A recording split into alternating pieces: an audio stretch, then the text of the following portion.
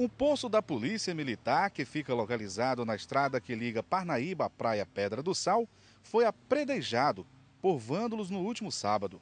Esta já é a segunda vez que o posto passa por esta situação. Os policiais acreditam que a ação dos vândalos seja para tentar inibir a presença da polícia no local. E que o último ocorrido, o motivo da depredação tenha sido após a polícia fazer a apreensão de 5 quilos de maconha na área. A polícia acredita que a revolta do traficante tenha sido o motivo da depredação. Porque aqui é, passa muitos indivíduos, certo? Infratores da lei, até é, como eu já havia falado, né? É, foi pego um, infra, é, um indivíduo com 5 quilos de maconha dentro, dentro, de uma sacola.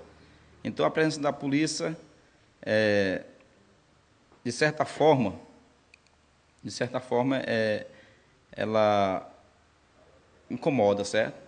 Para esse tipo de, de vândalos, certo? Para quem mora nas proximidades do posto da Polícia Militar, acredita que com a presença constante dos policiais possa melhorar a situação na área. Evita dos bandidos, porque aí é bandido toda hora, de noite. Aí não falta gente fumando maconha, é, é, em mota, é, com mulher, dizendo palavrão. Pede uma isso aí. Perigoso, isso aqui é perigoso demais. Isso aqui a gente anda porque é, vive e anda com fé em Deus. Já para quem trafega com destino à praia Pedra do Sal, diz sentir mais seguro com a presença da Polícia Militar. É muito importante, viu? Porque, em primeiro lugar, segurança para a população da região, né? E em outra, para a gente é vai com a familiar, tudo, a gente se sente mais seguro.